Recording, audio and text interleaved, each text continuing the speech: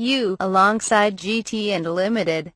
Sport is among the most prolific of automotive trims. Most vehicle makers offer a sport something or other if not several and VW is joining the parade.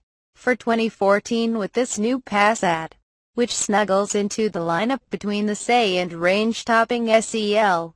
In addition to badges, yay, the Passat Sport S long list of cosmetic baubles includes front fog lamps, a rear spoiler, faux carbon fiber interior trim, aluminum pedal caps, two-tone leather-trimmed seats, stainless steel sill plates, paddle shifters, and 10-spoke, 19-inch wheels wrapped in 235 40th Continental ContiProContact rubber. Sports with white or silver paint get a black roof and black mirror caps. You, you, you notice that the above list OESNT include upgraded shocks, stiffer springs, bigger anti-roll bars, quicker steering, altered gearing, a freer flowing exhaust, a power upgrade, an intake sound enhancer, or anything of the sort. Excepting the larger, 19-inch wheels and deep dish seats that VW quizzically calls Comfort Sport.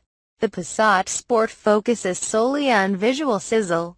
But, hey, buyers can choose between a paddle-shifted six-speed conventional, i.e., not dual-clutch, automatic and a five-speed manual.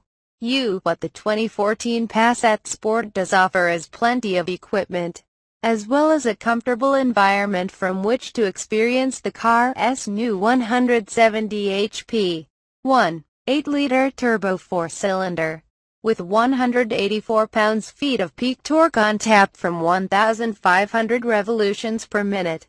The engine allows the Passat to compete more directly with the performance of mid-size segment. Sales leaders such as the U and U. It's at least a full second quicker to 60 than last year's Passat with its base 2. 5-liter 5-cylinder. In our tests, the Passat Sport 1 AT automatic hit 60 miles per hour in 7. 5 seconds, besting the 8. 3 second performance of the 178 HP U and 7. 7 second time of the 185 HP U. The force-fed 1